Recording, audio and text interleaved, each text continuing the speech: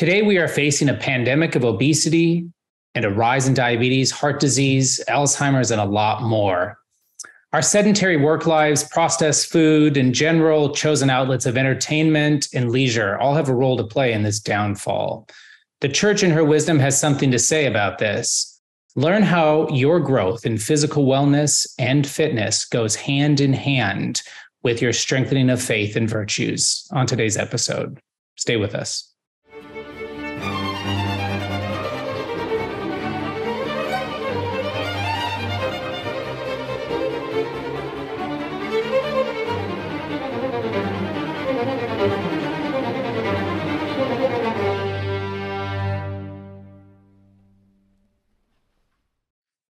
Welcome to another episode of the Catholic Gentleman Podcast. We're happy you're with us. Um, we are your co hosts, Sam Guzman and John Heinen. And today we are joined by a multi talented guest to talk to us about taking care of our bodies and souls simultaneously. So before we get to before we get to that though, just an introduction to our guest, Dr. Kevin Vost. He is the author of 20 books, including Memorize the Faith and How to Think Like Aquinas. And he's taught psychology at a number of colleges and universities. Today, he's focused on scholastic philosophy, modern cognitive psychology, and highly high intensity strength training with uh, a blend of Catholic teachings on spiritual and physical fitness. He is a member of the Research Review Committee for American Mensa, which promotes a scientific study of human intelligence. And Dr. Vost, if you've followed our podcast for any amount of time, has been uh, on the podcast before, uh, teaching us how to memorize lots of things. So, um, or uh, hopefully you remembered that he is a mm-hmm. former guest. Uh, but anyway, th- thanks for so much for being with us, Dr. Vost. It's my pleasure to be with you, Catholic gentlemen, today. Yeah, and as we mentioned, you know, the, the, there's this topic of health and wellness is all over our culture today. While simultaneously there's this as we mentioned in the teaser kind of this pandemic of of uh, unhealth or dis-ease um, kind of spreading across the country fueled by all kinds of different factors. But the point being that there's just kind of this this uh, tension in our culture between this like fitness culture uh, that is all about um, being cut and lean and working out and you know uh, CrossFit and and all of these different things.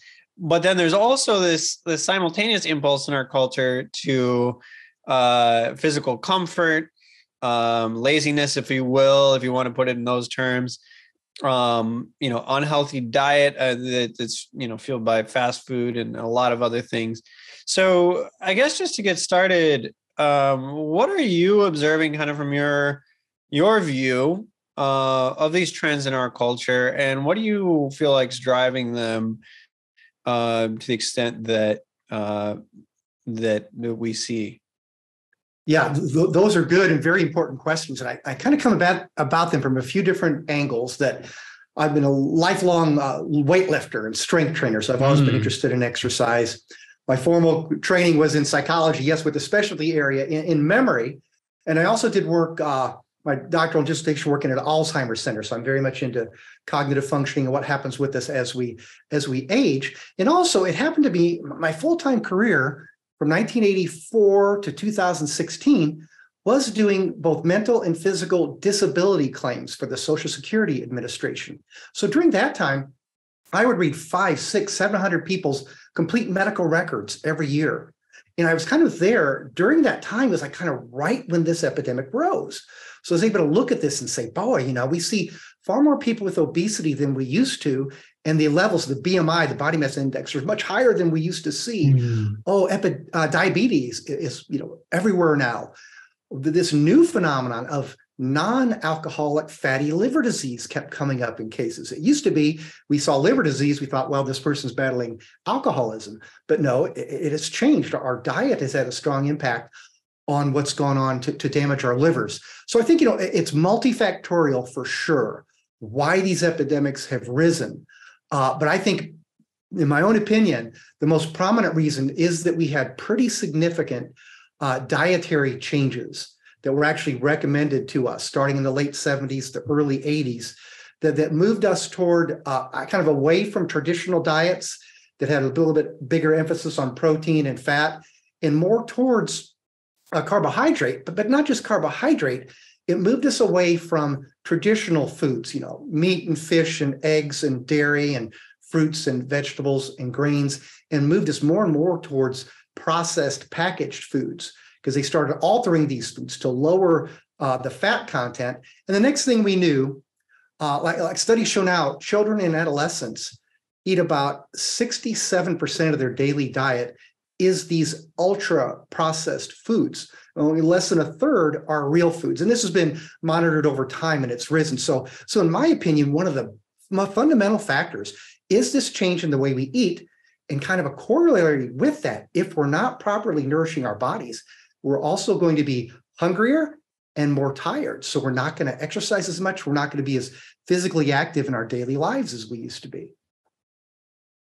Yeah, without a doubt. I mean, I think it's, and we all see it and we're all feeling it, whether someone's willing to admit that or not.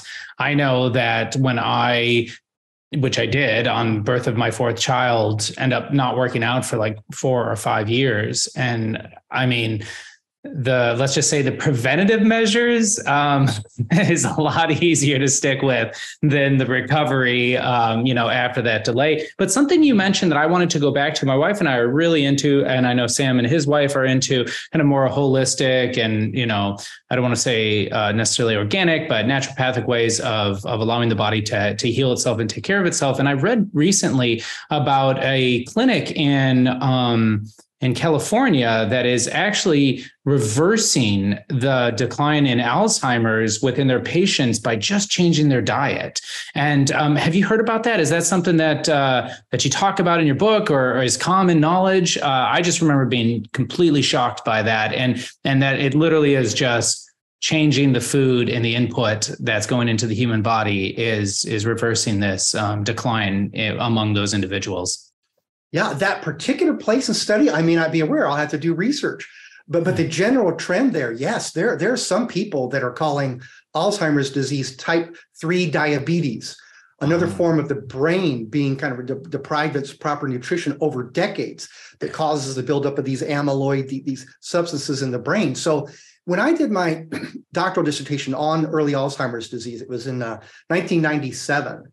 And at that point in time, there was almost nothing you could you could do. The medicines were minimally effective. There was almost nothing that I was aware of on the nutrition field mm-hmm. dealing with Alzheimer's. But but but but now uh, there is. People are seeing how nutrition can impact Alzheimer's and other other mental disorders as well, schizophrenia, the way it impacts our mood. So this is now a growing uh, body of knowledge. Uh, so so Alzheimer's, it very possibly now may be impacted positively by the way we change our diets. And if more and more people are eating the right way when they're younger, we may hopefully see a decline in the incidence. But I will say another disorder, uh, diabetes mellitus itself, that the type 2 that adults are more likely yeah. to get. There, there's definitely been some powerful studies I'm aware of that show people reversing their diabetes, no longer requiring insulin or other medicines. You know, a lot of the people when they're able to control their blood sugars by eating the proper kind of of whole real food. So just amazing potential there that really impacts almost almost every uh, physical or mental disorder you could think of. Yeah, I mean it makes so much sense, and and uh, the old saying, you know, you are what you eat, or or mm-hmm. whatever, it like really does seem to ring true uh, in in a lot of ways. But I have so many questions about this topic, but I want to back up just a little bit and talk about how you got interested in this because you know, based on your career, I mean, you you have a PhD, you you've studied, you know, Thomas Aquinas extensively and the virtues, and again, this idea of memory and and so many different facets. And and and maybe this is an unfair characterization, but it seems like a lot of times in our culture, it's either you're an academic or you're physically fit but you know, by and large, it's one or the other. Uh, you know, you're either all head or all body, one of the two, but you're not usually both. And so, I'd love to hear a little bit about your journey, uh, getting interested in weightlifting and physical development, and ultimately getting to the point where you felt like there needs to be a book uh, about the integration of our our body, our mind, our soul, like and and bringing those worlds together because um, that, that that's not a, a combination you see very often. Yeah, well, I can go go way way back to the the early 1960s, and the guy who really got this going for me was he flew across a TV screen and leaped over tall buildings. It was it was a character of Superman. When I was little, I wanted to be Superman. In fact, people called my mom Superman's mom because I went around wearing the suit you know, half of the time, just totally mesmerized. But by the time I got to about second, you know, I loved him too because you know he had all this physical power, but he's always using it for good. You know, truth, justice, and the American way. He, he was humble. It's like, man, this guy has it all. These amazing powers, and he's just a good person, and he uses it for good. But by the time I was about second grade or so, I think I realized, you know, I, I can't be Superman. That's never going to happen. But I saw a weightlifter on TV. It might have been the '68 Olympics. I thought, now that maybe mm. I can do. So I became fascinated. I had my dad get me a barbell set when I was in second grade, and I played around with them for several years. But I remember from seventh grade on, so it's probably like 1973 or so. I've been training consistently since then. So I've always just uh, uh loved that physical a- activity. And later on, just in my own personal interest, I was always interested in in uh, cl- the classics in philosophy and psychology. I love the Greeks and Romans. I was aware of their idea of you know a healthy mind and a healthy body. That really uh, uh appealed to me. Well, to make you know, I, I, I grew up as a Catholic. I spent about 25 years as an atheist through through reading some of the wrong kind of philosophers. Mm. I about from about the age of 18 to 43. Then at 43, the Holy Spirit led me through a series of events to read St. Thomas Aquinas for the first time. So I'm like, oh, all these arguments of the atheists, they'd been answered a long, long time ago, you know, uh, and I wasn't aware of it. So, so anyway, I was able to come back to Christ in the church then. Uh, when was that? 2004 and i did i wrote that first book memorize the faith because you know my specialty area in psychology was memory and thomas aquinas is actually considered one of the fundamental figures in the history of our understanding of human memory and how to perfect it. And so was his teacher st albert uh, the great. So anyway after i wrote memorize the faith i remember my, my editor todd Aglialoro was over at sophia at the time he he knew I was interested in faith and fitness, and I'd read some like I'd written like some Muscle magazine articles on on health and fitness. So I remember he asked me uh, back then if I'd be interested in writing a book about the Catholic approach to to the physical body, you know, and faith and fitness. And I'm like, oh, absolutely. But then I thought to myself, but, but what exactly is that? you know, yeah. I just recently come back to the church, so I had to do my study. And, and the more I dug in, the more I realized uh, we have a tremendous heritage of valuing the human body. You know, the church has always taught that that we are a composite of body and soul, and though our the soul will depart the, our body at death, when Christ comes again at the second coming after the final judgment, we're going to be reunited with bodies, you know, throughout eternity, and hopefully we'll be in heaven one day and have these magnificent glorified bodies. So the church has always greatly valued the body. And then I also read, you know, some of our recent, fairly recent popes would, would meet with groups of athletes most particularly uh, Pope St. John Paul II, also Pope Pius XII.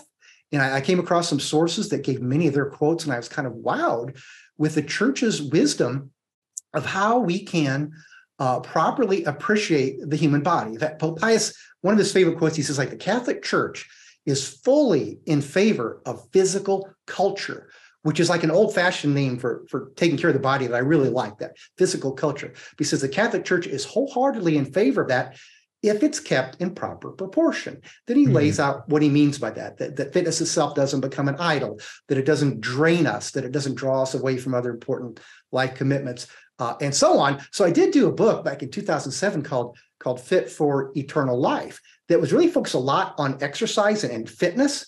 But as the years went by, I, I kept training. I kept strong as I got older but i realized i was feeling more tired. My waistline was was increasing and just doing that strength training cardiovascular training wasn't enough. But but then about two years ago I, i'd done all kinds of new reading on nutrition and i tried to apply some of these principles to myself and i was just flabbergasted by how powerful they were. So then i wanted to do a new book show what i've learned since then and really impact the power of nutrition and move from an emphasis not only physical fitness you know what, what can i do how strong am i how fast am i but health how can i keep myself as free from disease as possible keep myself functioning you know so i'm there for my family and friends as long as i can be Wow, that's terrific. I, and it is really exciting. I'm just going to affirm what Sam brought up that both an intelligent academic, accomplished author, and into fitness is is rare to come by. And so I um Yeah, I'm really excited about what you were saying. Uh, let's talk about a couple of those things that the church has stated um, regarding the importance of this. Maybe even go into uh, the realm of our moral obligation to take care of ourselves and to um, moderate things. Because I liked what you said about um, fitness. Uh, you know, not becoming an idol, but at the same time, what's the appropriate balance? And I'd love to hear you talk just a little bit about that. Sure, sure. And, you know, of course, the, like the name of this new book, You Are That Temple, is coming from St. Paul. You know, some yeah. of his words telling us our body in multiple places are the temple of the Holy Spirit. So we're going to glorify God by using being proper stewards of our own body. And as a big fan of St. Thomas Aquinas, I know when he talks about the, the virtue of love or charity, and he goes into the the great second greatest commandment that Christ gave us, you know, to love, basically to love God with everything that we are and to love our neighbor as ourself. Thomas breaks down every part. And he says, you know, basically, by the way, when we're told to love ourselves, that means that we love not only our souls, but our bodies too. We're required to take proper uh, proper care of them, to show God honor, show Him the gratitude, to keep mm. these wonderful gifts of our bodies, you know, functioning as well as we're as we're uh, able to. And another theme I pulled from Thomas is that he, he writes elsewhere, you know, very extensively about the virtues, what, what perfects our soul. But Thomas says, as the virtues are to our soul, so are things like health and beauty and fitness to our bodies. So I use the phraseology sometimes the virtues of fitness. If we're going to grow in virtue, it's going to help perfect our souls and, and also our bodies. Hmm. Yeah, yeah. So there's there's there's an awareness of uh, the spiritual dimension of the person i think is something that that is kind of missed in our culture sometimes. I mean you, you look around uh, and if you do get a, a fitness book or a fitness magazine or even a you know a nutrition book there's a strong emphasis on the body alone and almost no emphasis on the soul whatsoever. Um and sometimes it could also be tinged with kind of like a a moral component in our culture where there's there's like a a, a shaming or like a you're a bad person if you eat poorly or things like that. And and i guess i'm wondering what is what what first of all like what is what is the awareness of the soul? How does that change how we approach these issues? And second is it a moral issue? Like is it a something that is a sin if you if your BMI is not within a certain range or something like that, you know, where where someone starts to like maybe get a little scrupulous about that or or whatever. So like I guess I guess uh, to sum it up, yeah, like what what is the the dimension of the soul add to this conversation and and what is the potential morality one way or another? Yeah, th- th- those are, are great questions, and it's all very relevant. And one thing I probably should say from the start, especially when we're talking about you know the the obesity epidemic. You know i do want to point out you know you can't really like measure a person's degree of gluttony or sloth by putting them on a scale. That's not what this is about. Even you know even part of my argument is just the way we've learned to eat in recent decades has made us more inclined to eat too much and, and to exercise too little. So it's not so it's in that way it's what we're taking into our body may make it us appear to have these spiritual deficiencies. If we're feeding ourselves right, we might find, hey, I'm not hungry all the time. Hey, I have the energy to go out and do those things. So yes, there's no intention here of of shaming anyone. I also include a chapter about people with with physical and mental disabilities because mm-hmm. you know regardless of what our bodies look like if we're born with deformities if we develop disease we're all masterpieces of god's creation our bodies are all beautiful in the fact that they house our souls our intellect in our will. So yes, there's no intention here to shame anyone, but if but if someone is unsatisfied with how they look, with how they feel, the goal is to inspire them to do that and to show God gratitude by the fact that they're trying to make a, di- a difference here. But so yeah, so the virtues, the spiritual development closely entwined, you know, in body and soul. So like another way I look at this, for example, I talk about the virtues of fitness. You know, we know that the cardinal virtues of fortitude or courage, temperance or self-control, uh, justice, and, and prudence or practical wisdom. So I say, well, in terms of caring for our body, you know, fortitude, St. Thomas says, is the ability to overcome difficult obstacles or to endure difficulties. And I say, well, strength training is all about overcoming difficult obstacles. Cardiovascular training is all about enduring stuff that may, may be uncomfortable. Temperance, you know, involving that, that self-control, that self-moderation, obviously can play a role in the way we eat. Uh, as for prudence or practical wisdom, well, yeah, here here's where it ties into being sensible in the way we take care of our bodies. You know, if you're a young guy and you're working full time and you've got several kids in the house, can you practically think you're going to get up and spend an hour every day training? You know, probably not, you know. Hmm. But but can we learn simple ways? Maybe you could spend a half an hour once a week and that might make a real difference. So so prudence involves you know learning, get this practical judgment that will apply to our own day, our own nutritional and fitness routines. So so they're practically wise and then as far as justice, you know, giving each person their rightful due, the way I try to address that is by looking at the special needs of particular groups, like it might be women as opposed to men, or, older people as opposed to people in the middle of life, or younger children, or even the preborn children, or even learning more and more about the importance of what a woman eats during uh, uh, pregnancy. So anyway, you know, I say that these virtues are all intertwined, but as Catholics, the overriding virtue of them all should be that charity uh, or that love. So I say, hopefully, we're going to build ourselves not up, not to say, look at how muscular that guy is, or look at how strong, or look at how fast he can run, you know, but but to give God the honor and glory to say, you know, I appreciate this body you've given me. I'm going to try to perfect it as much as I can. And then I'm going to try to use that energy to do good things, you know, to do, we talk about corporal works of mercy, taking care of actual people's bodies. Well, we want to take care of our own and then also try to help other people take care of our own. So, in the way I see it, you know, the, the, the virtues of the body, the virtues of the soul are deeply intertwined in what we are as human beings. And I think that the church has, is always recognized and endorsed this.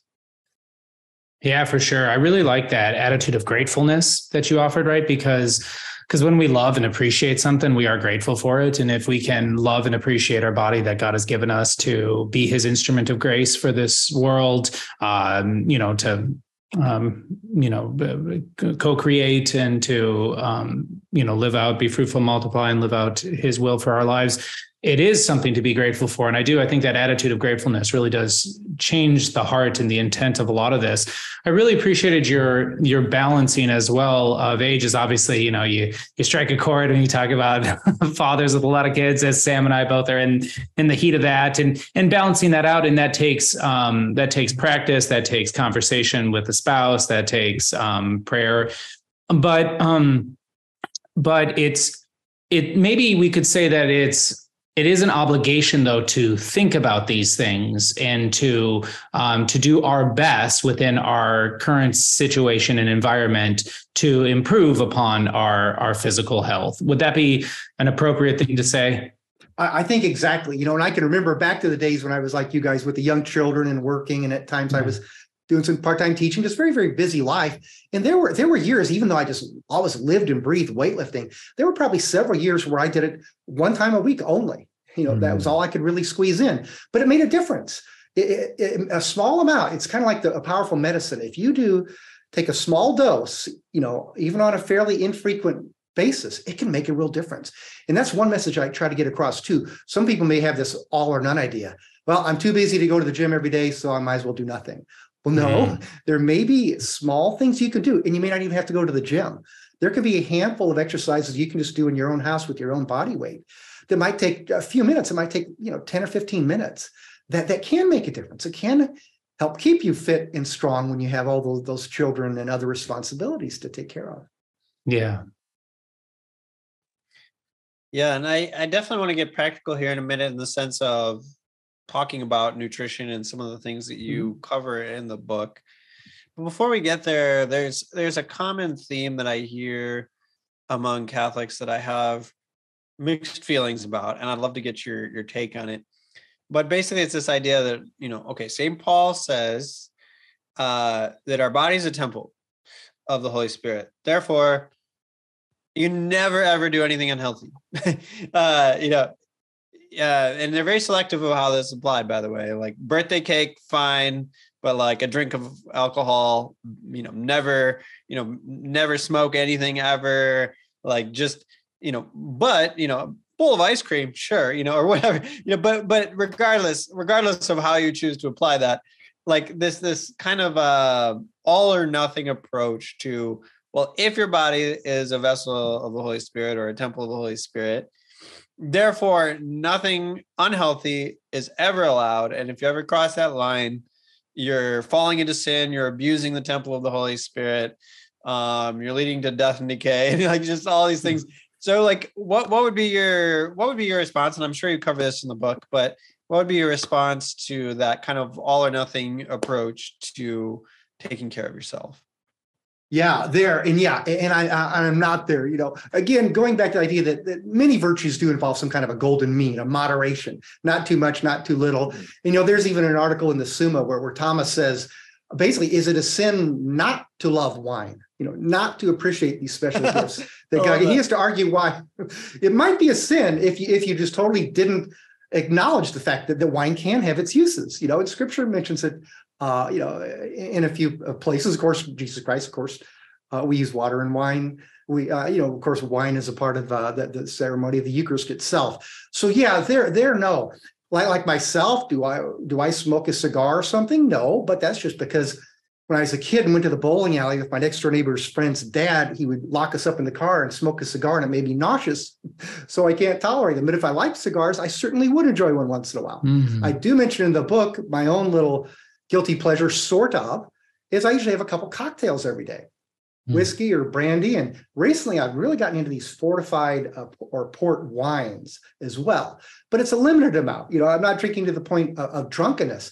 So no, I, I, say, yeah, we don't want to go overboard here. Uh, you know, th- there are these things that, that uh, you know, like a cigar smoking or a pipe smoking or alcohol or the occasional special treat that I think can indeed be part of a normal, healthy uh, lifestyle. Of course, there'd be certain substances you wouldn't want to touch at all. You know, certain certain drugs that can have a potent effect from the very start. Things like that. No, but but but the simple pleasures of humanity, I think, that have been around for a long, long time, you you can honor your body and also show God gratitude by by enjoying these special things that that, that uh, exist. Everything that exists came from God. So so yeah, I w- I wouldn't go to extremes there. Yeah, I appreciate that. And you know, it's interesting because I think you go into this uh, book in the book as well as like offering up these sacrifices like giving like maybe saying no to to a cocktail or saying no to sugar you know for the sake of, of a, um, a particular intention. And i heard recently of a father of 16 kids who um uh, quite a few adopted but um who gave up sugar candy his entire life for the sake of his family and I was I was just powerfully moved by that. I was talking to his son, who is uh, a really um, excellent young man, and uh, was like, "Oh my goodness, I don't I don't sacrifice enough for my family." but uh, but w- let's talk about that. Let's go into that. Let's talk about the importance of of fasting, the importance of of abstaining from from certain pleasures and things of that for our, our spiritual growth and wellness. I believe um, in the synopsis that I read on your new book coming out that that's something you touch on. Yes, yes, because like the, the fasting itself is a phenomenon that that I never really cared for, or thought much about. Again, uh, growing up in this weightlifting obsessed bodybuilding world, the idea was if you're not constantly yeah. pumping nutrients into your body, you're shrinking. Yeah. and every weightlifter just wants to get bigger and stronger all the time. So, so I, you know, didn't didn't like that aspect uh, of fasting on from its physical aspect. And in growing up, you know, the official church fasts, I would do those, you know, abstaining from meat on Fridays and Ash Wednesday and so on, or just the fat, the brief uh, fast before the Eucharist. But but just in recent years, I have learned, uh, become much more appreciative both the spiritual uh, and the physical value of of fasting uh, you know, the church is off, you know, taught that we have periods of fasting and periods of feasting. You know, we have that that, that moderation there. So yes, it's a, definitely a part of of honoring your body can be denying yourself at times those things that you actually uh, genuinely want to have. Like I'm amazed with that father with with uh, the sugar. Yeah. Now I will say that uh, the last two years I eat almost no sugar unless I'm at a a baby shower and someone wants to hand me a piece of cake they made, I'm not going to say, "Here, don't put in the garbage." Yeah, okay, I'm going to enjoy that. I'm going to enjoy yeah. that. Uh, but but for myself, for for certain kinds of things, I do find substitutes. I, I may use. Uh, I don't put sugar in my cocktails if I'm making old fashioned or something, but I may mm. use a more natural sweetener like stevia or monk fruit or something. But yeah, yeah but there there are many many ways that we can look at both our diet, you know, and, and our exercises, not just tending the body, but tending the soul.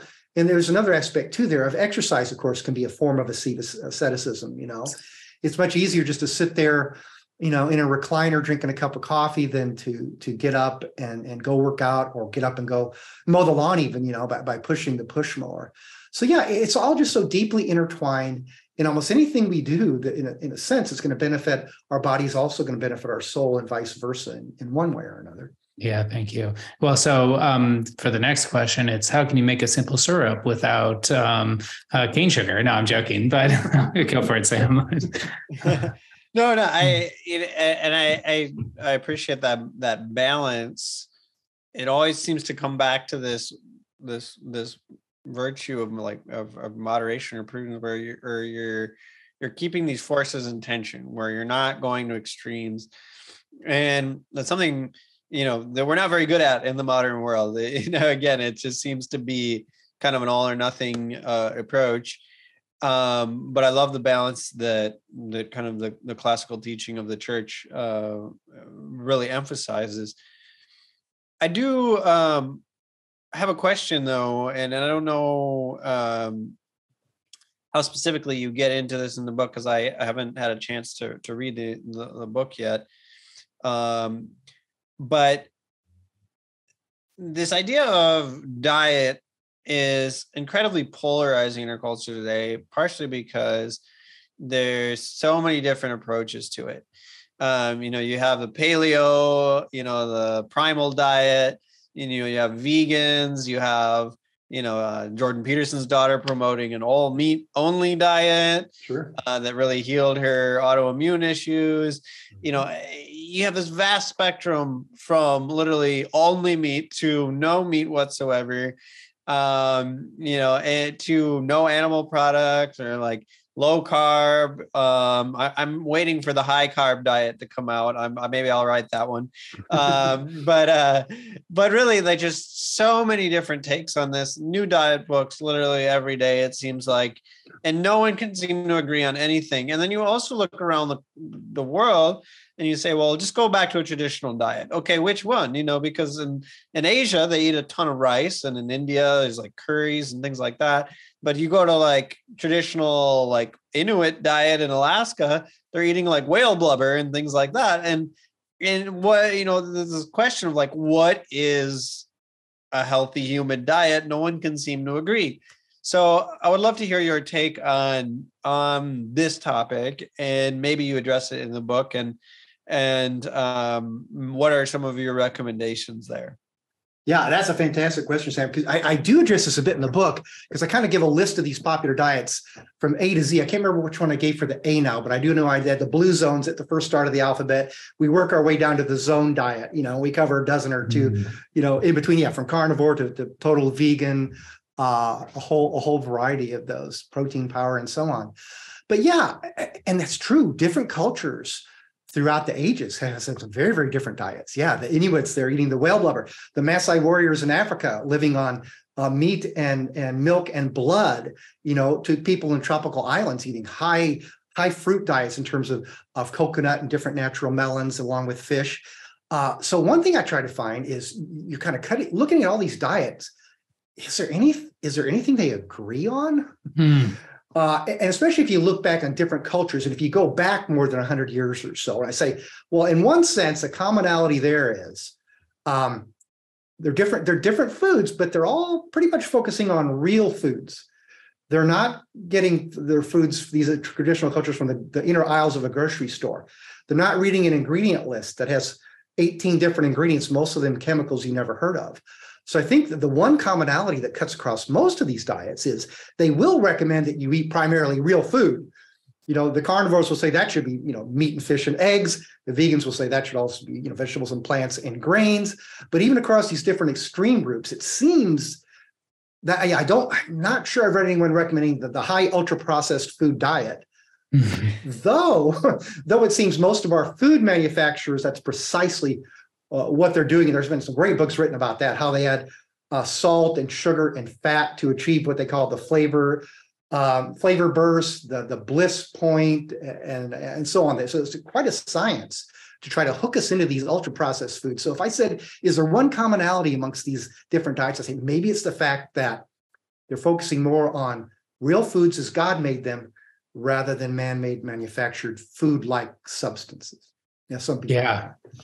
Yeah, and and certainly these large companies um, for lack of a better word, feed off of our addiction because the more we um, are connected and, and addicted to what they're providing and have these bliss points and things like that that I've never heard of, um, the more money they make. And so um, I, I, had a question now. This just goes right in line with what uh, Sam brought up, but it's been something I've been wondering myself is that does our multicultural diet here in America negatively affect our bodies? So, like um, when I, have had a lot of uh, friends, I used to be a professional musician. I had a lot of friends from India or from Colombia coming up here. And when they were uh, eating these American diets, they started breaking out in acne and, and a lot of these uh, sort of uh, situations. And so I've been wondering, you know, if if there's you know a rise in you know celiacs or a rise in in some autoimmune diseases and things like that, uh, is is there any association with the fact that we used to only be able to eat what was in a um, you know a walking radius of of our lives, and now I can I can get every single possible uh, you know ethnic dish to my door with you know press of my phone. So does that have a negative effect genetically speaking or anything like that? Is there any science behind that? Well well i do know it, it brings a few different things to mind. One is you have people who are eating their in their traditional culture like the japanese at a certain point in time very very low heart disease.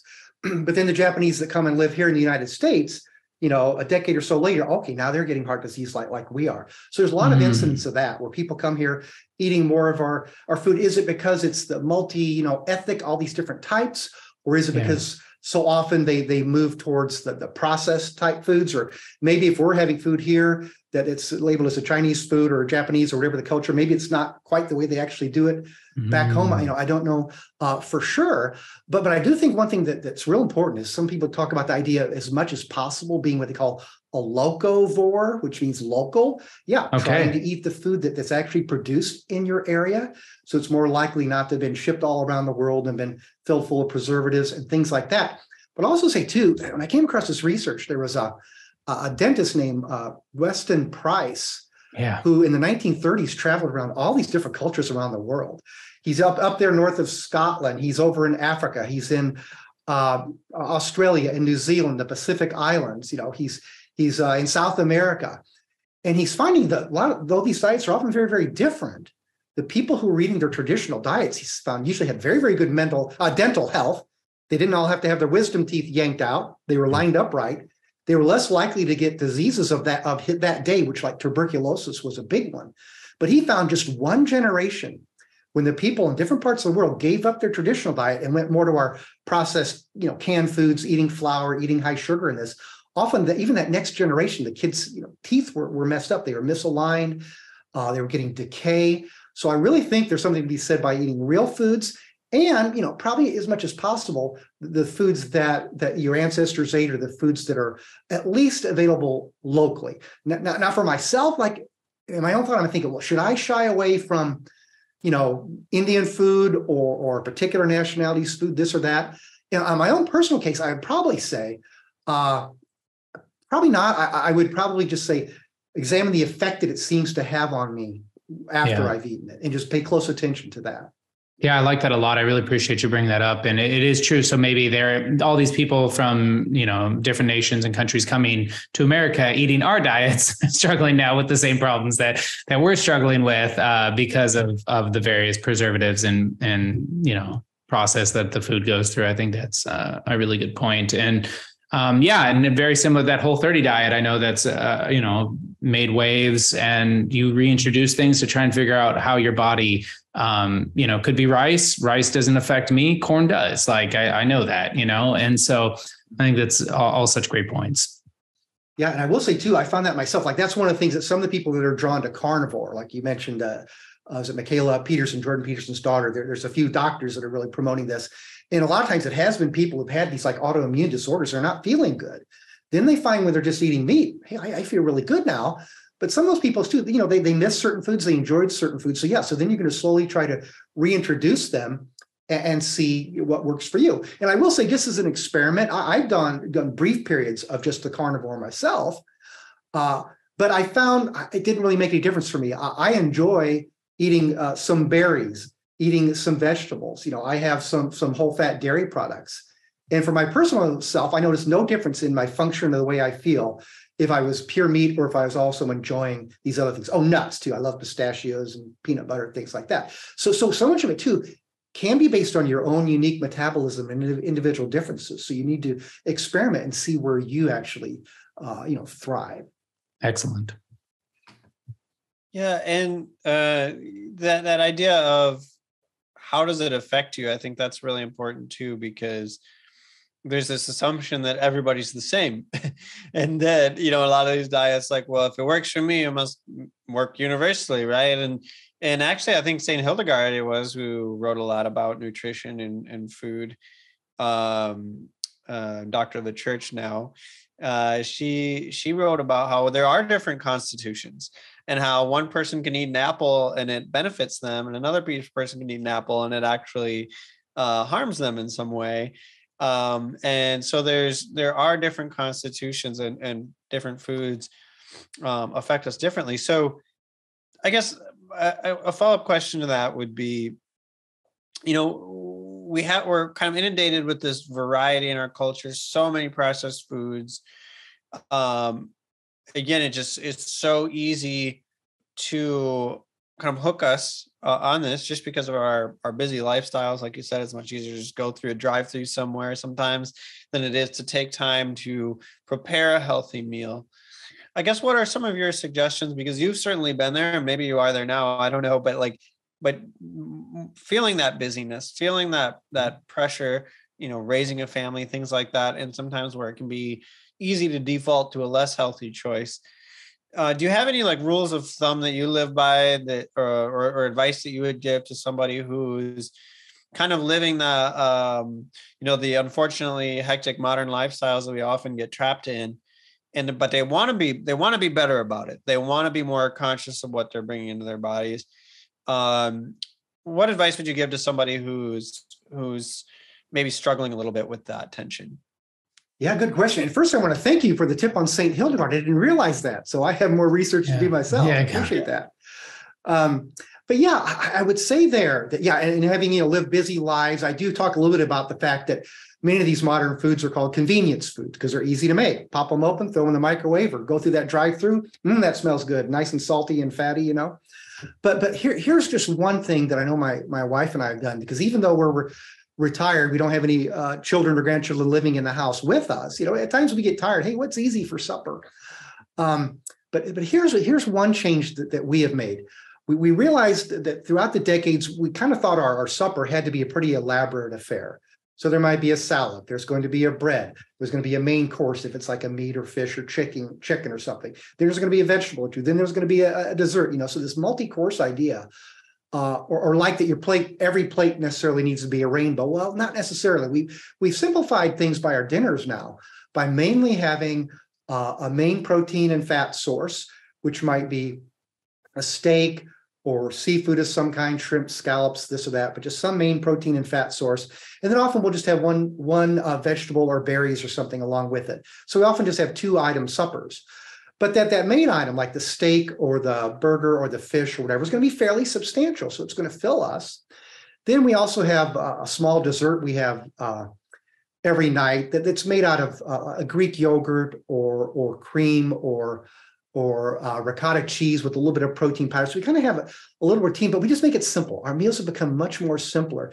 We don't feel the need to have multiple courses in every meal.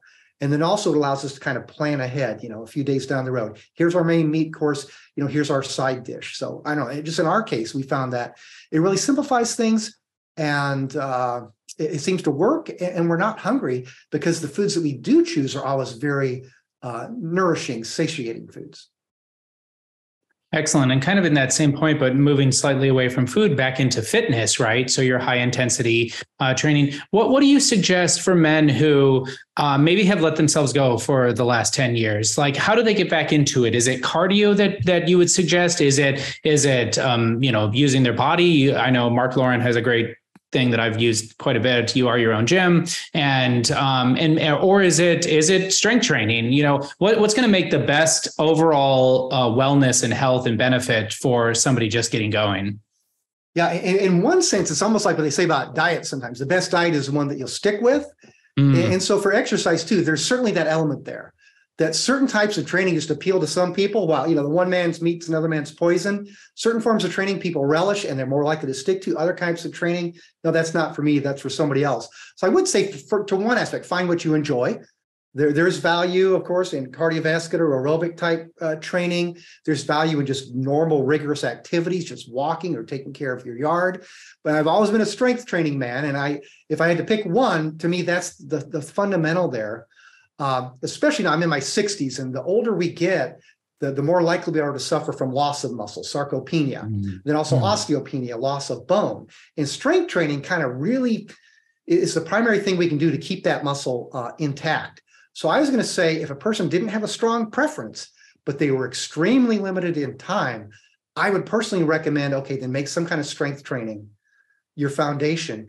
And yeah, and it can be, you know, I mean, for me, I like to go to the gym, I like these machines or barbells or dumbbells or cable systems, but it can be using your own body, doing push-ups, doing a variety of other exercises that you can do. And there's ways you can make them intense by increasing your repetitions or by, by slowing the repetition speed. But anyway, I, I point out to men too, like I did this for years. If you do one fairly, you know, demanding strength training workout as little as one time per week, and you try to make some kind of minor progress each time, it, it can make a world of difference. Yeah, excellent. Yeah, that's really encouraging because I mean there can there can be uh, again like an all or nothing mindset where it's like I got to be hitting the gym like three times a week. You know, I got to be bench pressing 400 pounds or like say you know like just this the and if I can't do that, then what's the point? You know, and and I think just acknowledging that it doesn't have to be um, you know multiple times a week it doesn't have to be hours a day it can just be a little bit uh is very encouraging. But i, I want to kind of we've kind of zoomed in on the specifics i want to just back up just a little bit to a a, a bigger picture level of of why you know I, I remember when i was kind of more in the marketing world the the uh simon sinek would I, you know the, the the business guru would always talk about like start with why and I think that's a good question because a lot of people might think, well, I don't need to be ripped, you know, like I don't need to have this super cut physique, you know, I'm not going to be, I'm not participating in any sports and, and, you know, I feel pretty good right now. Like I don't feel like I'm, you know, deteriorating majorly or whatever. And, and, you know, I, I don't know, like what I, I work at a computer all day or whatever. Why do I need to be doing this? And and again like i know your answer to this might be a little bit different than just you know a fitness trainer in, eh, at the gym down the street because you you're incorporating a spiritual dimension here. But i would love to hear your thoughts on like why? Because i know when i've struggled and failed with like you know diet things like whole 30 like john mentioned or things like that where you feel like you're tempted to quit you're like you always wonder like why am i doing this to myself? Like why am i denying all these delicious treats? And like you know and and, and then if you don't have a good answer to that you're probably going to quit. So i would love to hear your your thoughts on the why. Oh yeah good question. And i will say too that ideally an ideal diet though it is going to include elements that you actually enjoy and look forward to you know? So so everything you eat shouldn't be like, oh i got to force this down you know hold my nose. But but yeah, but the, in terms of that that why, especially like you know uh, you know young people, you know I, I feel pretty good. I just have to work at a computer. There's nothing, you know, nothing I'm asked to do. And in most of my own work life, you know, was desk was desk work. Except the most active I was, I standing up teaching, you know, leaning on a podium. But but yeah, you know, when you're young and the, the you know, praise be to God, most of us are going to live into older age in the, in this country. Uh, and, and you may feel fine now, but as those years go by, if you're not properly caring for your body, it's going to sneak up on you. Uh, there's something called you know metabolic syndrome or insulin resistance that may underlie or be associated with all this obesity and diabetes, and it just creeps up gradually uh, over the years to where um, you know even myself uh, when I turned 60 years old, I had a strength goal. I was going to deadlift 410 pounds for five repetitions, and I did it on the day I turned 60. But as I look back, my waistline was over 40 inches. My blood pressure was 159 over 91. I had a sore knee. I got reflux at night. And I thought, this is catching up with me. Even though I'm still strong, because my diet was not properly tended, my body in some ways w- was breaking down and you had to make significant changes. So I'll just say that, you know, even if you're young, the, these effects of how you take care of your body, what you eat, and how you exercise, it's cumulative over time. And there could be reach a time you think, boy, I wish I would have taken better care of myself when I was younger. But then also to be there to realize the same pattern is going to happen to your children someday. You know, so you want to set an example for them too to properly care for their body, so they'll be vigorous uh, as they go throughout life. Now, is this going to guarantee that we that we live longer? No, no, not necessarily. All kinds of things. We never know, you know, when our time is going to come, and it could be some genetically based disease or we might get run over by a truck you know. But but but so that our so that we remain as functional as we can throughout the rest of our life. And then also bearing in mind moving from the physical level that the, the healthier we are in terms of our diet and exercise the more likely our brains are going to be healthy.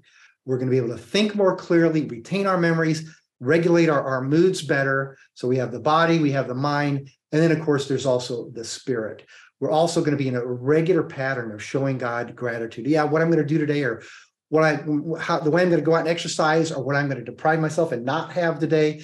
It's kind of tough, you know, but I'm going to do it out of gratitude for you. And the next time I do eat a treat that I'm uh, enjoy, I'm really going to enjoy it, you know, even more. But I, so I would just say, yeah, this it's important at any stage of your life because those years keep rolling on. And if we treat our bodies properly, they're going to stay strong. And if we don't, the, the damage is going to gradually accumulate. Yes, no, so terrific. And I'm really grateful for you uh, walking us through that and explaining that. So, for my final question, uh, you have a new book. Uh, uh is it Sophia Institute Press or just Sophia Press? Um, I think Sophia, I think they go Sophia Institute Press still. I think they're Press. Great. Okay, good. I'll have it in the show note. But what do you um, what do you hope men gain if they if they digest your book? If they pick up your book and they're going to go buy it, what do you hope they take away from it? Yeah, I, I hope uh, men will gain a total appreciation for their body, whatever body type they have.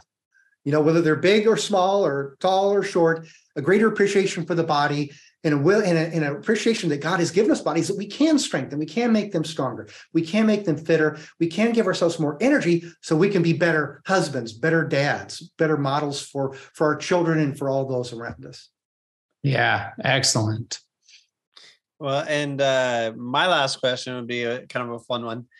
Uh, do you know any saints who were particularly uh, fit or strong?